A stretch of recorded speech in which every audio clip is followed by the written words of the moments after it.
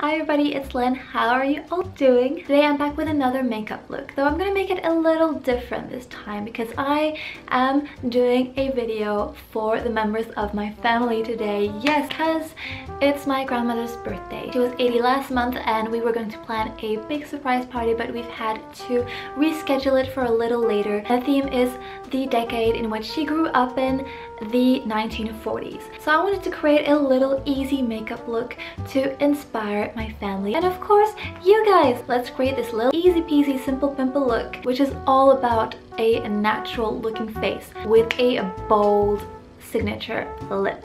Super easy, stick along for the ride and I'll see you in a minute. So let's start with a blank canvas. This is me, no makeup, no eyebrows, looking pale as ever. Hi, welcome.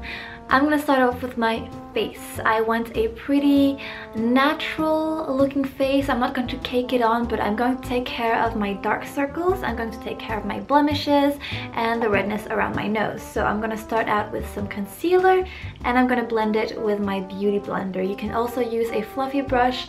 Uh, personally, I really enjoy the Beauty Blender. I think it doesn't seep into my creases as bad as any other tool but I do have deep set creases so can't hide everything. So I'll put a decent amount on the back of my hand here.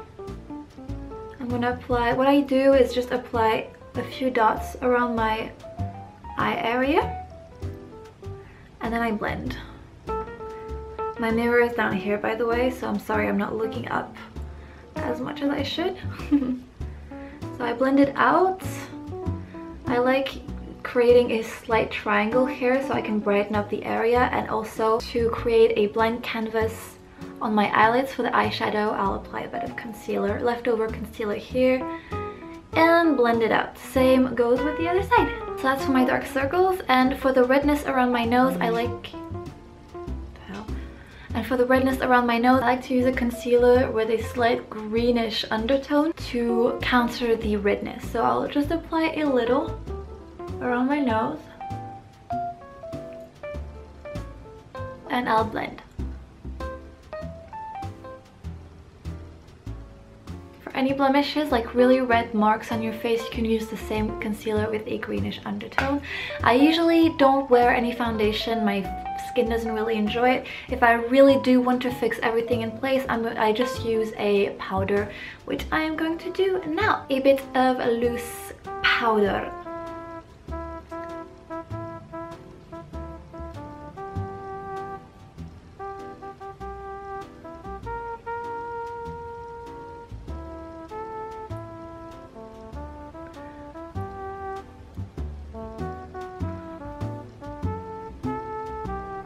There we go. Now my skin is nice and uniform. Don't forget your neck, by the way. there we go. So now we have a pretty good base to work with. Next, I'm going to do my eyebrows and same for the rest. I'm going to keep them pretty natural. I noticed that eyebrows were more on a thinner side with an either a natural arch or an exaggerated arch. I'm simply going to fill them in following the line of my nose, do maybe a little bit of an arch right here and then finish them off as naturally as possible. For this, I'm using a brow pencil to have more control. I'm just gonna comb through my eyebrows to see if I can achieve the shape that I want from the get-go. And make sure that all the hairs are in place. Yeah, I have really sparse eyebrows. So I'm gonna start in the middle of my eyebrow and fill them up from there and just figure out what shape I want them to be. For the arch, I'm going to slightly overdraw where my natural arch would be to exaggerate it just slightly. I can't pull off the exaggerated look with these eyebrows. If you can, just go for it. It's all in, it's all you. But I'm just slightly going to overdraw my own at this point.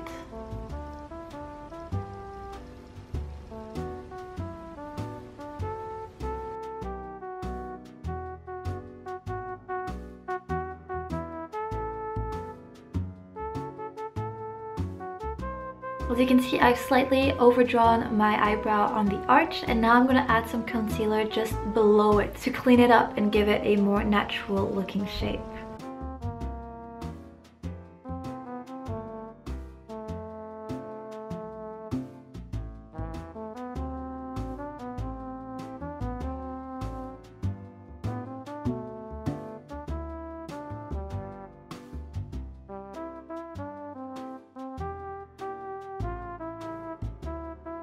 Moving on to the eyes, pretty basic. Either you don't do anything and just apply some mascara, but for myself as a person who just adores putting makeup on my eyes, I just can't leave it be. But I'm gonna follow the guidebook and I'm going to use some natural looking shades for the eyeshadow.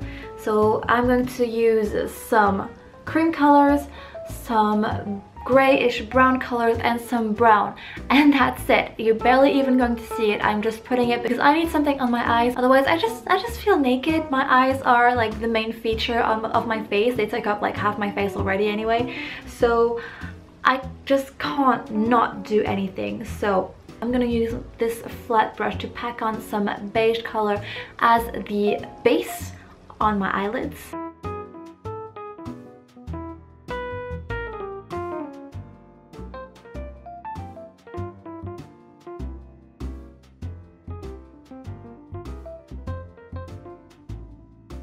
There we go. That is it. Uh, by the way, this shade is called Heaven and it's by Too Faced. And then I'm to take this beige, I said grey brown. This is how I would describe it. It's called Velvet Revolver. It's beige, but very muted. I don't know how to describe it any other way. So I'm to pack it, pack this color onto my brush and apply it to the crease. Very simply applying it to my eye crease. Ta-da!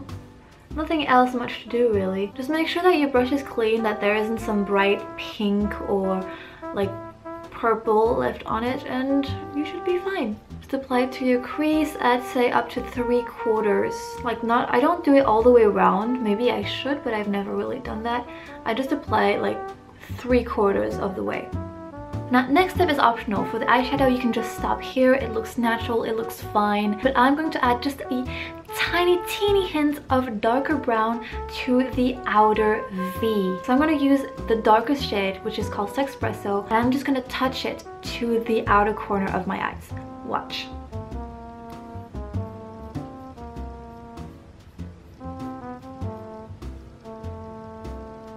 So I just applied it and now I'm bringing it in just a little to create a gradient. I'm just gonna blend the rest.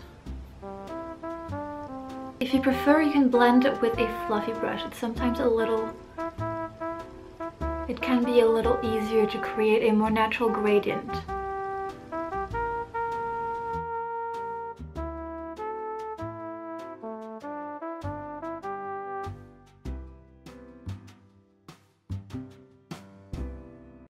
And this is it with my natural looking shadow.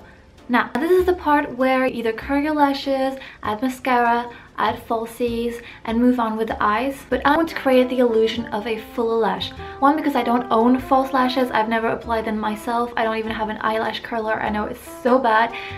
I need to try to, to do that someday. Maybe I'll make a video. A girl applies false lashes for the first friggin' time. But so far I don't. And I do want fuller looking eyelashes. And number two, I can't not put eyeliner. I, I love eyeliner. I love putting eyeliner. But we're going to compromise. No cat eye. I know. Sniff boo-hoo. I love my cat eye. Everybody knows I love creating my little cat eye flick. But today we are going to go with this brown color which we're going to apply very close to our lash line to create the illusion of a thicker looking lash. So I'm going to get close to my mirror here, so if you only see the top of my head for a minute, that is why.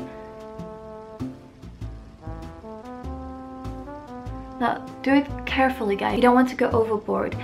Dot, if necessary, dot carefully just above your, just above your lash line, like this, and start filling it in.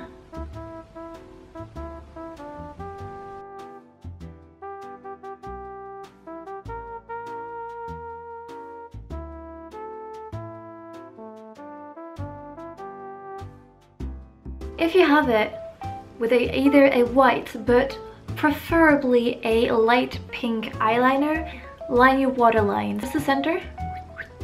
And it will open up your eyes. Delicately. I'm just gonna add just a little bit of the first shade, the beige, right beneath my brow bone. You know this trick to create a little more dimension. And I'm also gonna add a little around the corner of my eyes. Now, lashes. Curl them, mascara, falsies, everything you want. Just make them voluminous and natural. It's a little weird in, say, the same sentence, but we want full, healthy, natural looking eyelashes. So, do your worst. Here I'm just combing through my eyelashes even though there's nothing left on my brush just to make sure they aren't clumping too much together and I'm also going from the roots to really lift everything upward and open up the eye.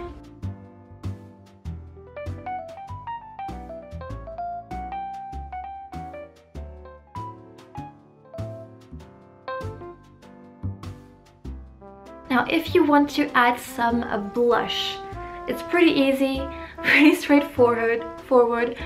Load up your brush, tap off the excess. Do not blow on your brush, guys. Just don't. And add the rosy blush. I forgot to mention it needs to be rosy to the apples of your cheeks up to the cheekbones. That is 40 style. So just smile and add.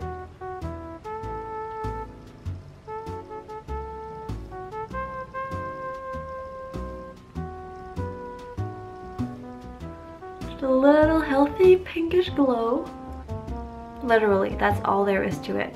Super easy, no contouring and specific areas to limit yourself to. Just put in some pink on your cheeks and drag it upwards a little bit. That's all there is to it. Now, the main feature of the face in the 40s, the lips. Now what I'm gonna do is create a bright red lip. I'm going to start with my lip pencil. This is all I have left, so I'm just gonna have to make do. It's not really the correct shade, but we'll make it work. And I'm gonna do, same as with the eyebrows, I'm going to slightly overdraw my lips. Lips are the statement piece. Bright red, bam, wham in your face. And this is what I'm gonna try to create today. Yay!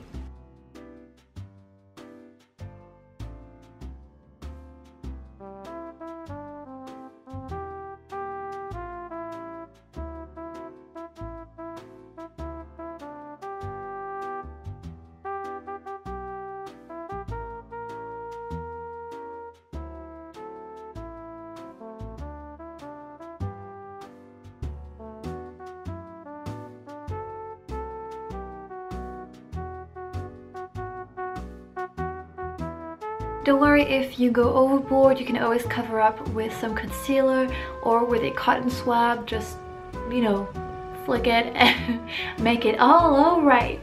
And guys, guys, this is the finished look. I know, super basic, super easy, right? The main theme, as I mentioned, is to keep it as natural as possible with just that pop of a lip, which is the main focus of this look. I'd say lip, then maybe eyebrows, depending on how strong you've made them. Either really natural with a natural arch or a little more dramatic. So I hope you enjoyed this little retro look. I just wanted to celebrate my grandmother and inspire the rest of my family to follow me to create a wonderful look at my grandmother's birthday party. I'll see you very soon. Don't forget this month is going to be a little sporadic when it comes to uploads. If you don't know what I'm talking about, I made an update video. Yes, the infamous update video uh, where I explain everything about why I'm not going to be around for the next few weeks. So go check that out if you have a big interrogation mark on top of your head right about now.